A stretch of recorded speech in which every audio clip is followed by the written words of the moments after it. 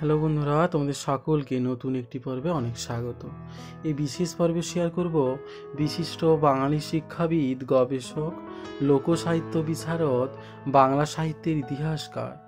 আচার্য দীনেশচন্দ্র সেনের জীবন সম্পর্কে, যিনি রায়বাহাদুর নামে বেশি পরিচিত, যিনি জন্মগ্রহণ করেন তেসরা নভেম্বর আঠেরোশো ছেষট্টি এবং মারা যান কুড়ি নভেম্বর উনিশশো উনচল্লিশ।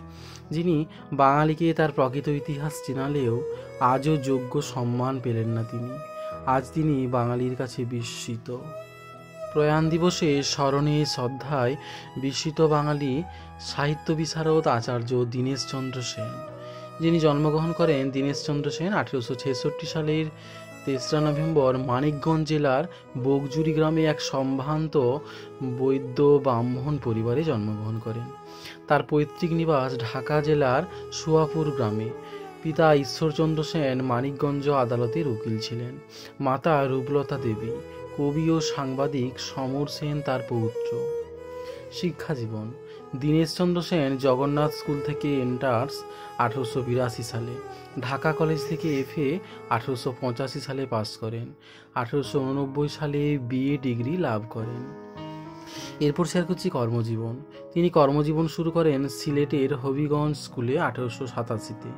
পরে তিনি কুমিল্লার শম্ভুনাথ ইনস্টিটিউশন আঠেরোশো উননব্বই ও ভিক্টোরিয়া স্কুল আঠেরোশো নব্বইয়ের প্রধান শিক্ষকের পদে যোগদান করেন।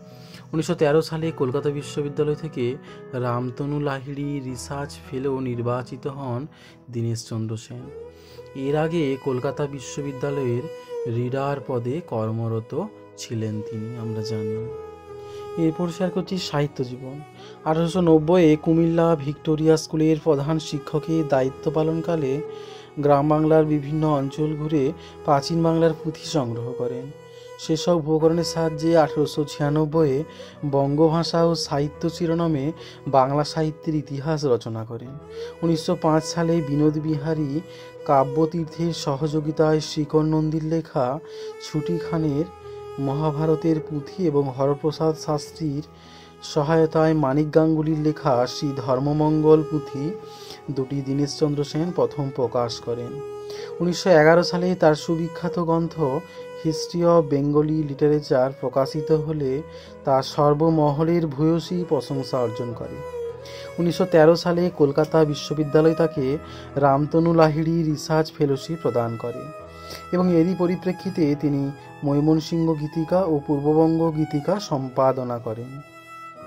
এরপর সে হচ্ছে উপাধি। উনিশশো একুশে কলকাতা বিশ্ববিদ্যালয় তাকে ডিলিট ডিগ্রি এবং উনিশশো একত্রিশে জগত্তারিণী স্বর্ণপদক প্রদান করেন। উনিশশো একুশে ব্রিটিশ শাসিত ভারত সরকার তাকে রায়বাহাদুর উপাধিতে ভূষিত করেন। উনিশশো ছাব্বিশে ময়মনসিংহ গীতিকা গ্রন্থটি কলকাতা বিশ্ববিদ্যালয় থেকে প্রকাশিত হয়।